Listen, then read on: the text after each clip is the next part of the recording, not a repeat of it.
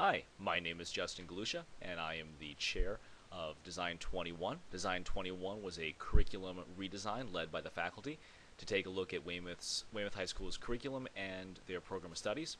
Uh, now that we have moved from the designing into the implementation stage, we are called WHS 21, and I would like to take uh, the next few minutes to share with you some of the changes that we have uh, through WHS 21 for your student.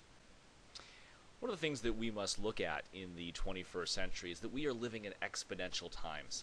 The number of text messages sent and received every day exceeds the total population of the planet. And while you may think that your student is uh, exponentially adding to that, uh, it isn't just them and their cell phone bill. Uh, we have 31 billion searches on, on Google every month. And back in 2006, that was only 2.7 billion. We are living in exponential times. The total amount of infor- information that will be created this year uh, is more than the past 5,000 years. So, in whatever we do as an educational institution, we must make sure that our students aren't just masters of content, they need to be masters with content. And that really brought the faculty at Weymouth High School to a, to a very crucial question. Is an educational system with its roots in the 19th century really preparing our students for life in the 21st century? And to be able to answer that question with, with, with confidence, we are going to have to make some changes for our students. And WHS 21 is really the plan to, to make sure that our students are, are as, as, as wonderfully serviced as they can be.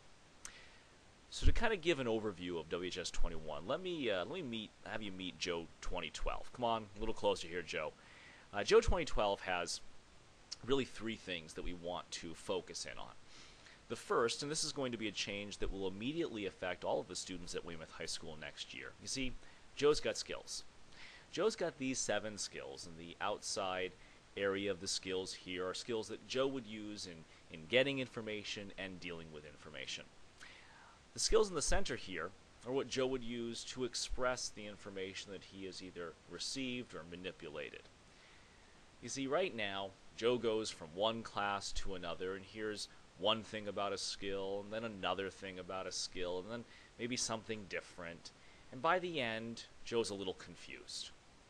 And then it repeats over and over and over and over and over again. One of the things that we're trying to do with WHS 21 is to make sure that, that Joe 2012 hears the same things about skills across the board, works with those, and, and, and becomes better at using those skills for all of that new information that he's going to encounter. You see, uh, the, the, the conference board and the Partnership for 21st Century Skills, these two very big organizations, did a uh, survey of over 400 different uh, workplaces. And what they found is that the graduates that are coming out of high school in America, too few of them can, can do oral presentations, have fluent written communication, um, they're not creatively using technology. Um, they don't work collaboratively as well as they should. They, they lack a work ethic and, and they need to understand the United States in the context of global affairs. We wanted to make sure that wherever our students go next after high school, they would be ready with the skills they need for today. And that really was the genesis of focusing on these 21st century core skills to make sure that Joe 2012 is ready. So the first thing that WHS 21 means for your student is a focus on the core skills and using the content to become masters of these skills. The next thing that Joe 2012 will have is Joe's got service.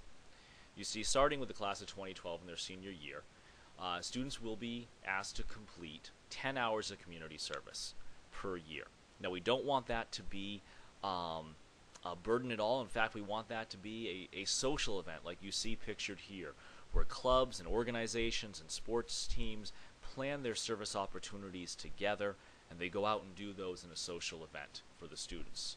So that the students leaving Weymouth High School are kind of have caught the service bug because it has been a fun time for them in their high school career. The third thing that Joe has is Joe's got context. You see, as you start off in your educational career, you take large survey courses, and then you maybe take another survey course that narrows the field. And then at Weymouth High School, we have some great electives. But as you can see, going down, the electives narrow the content of of the course. And this happens with not just history, but with English, with math, with science, and with history. So as a student goes through their educational experience at Weymouth High School, they, they kind of narrow in their in their content coverage.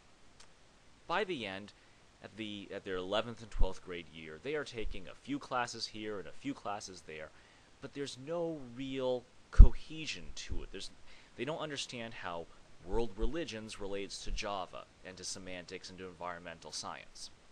But not Joe 2012.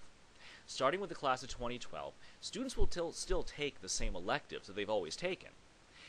But now they have a context. Let's say Joe is interested in exploring the career pathway of secondary education. So what Joe would do is he would still take those same classes and maybe because he was interested in secondary education, he might think about public speaking and he might think about psychology, but now he's got context.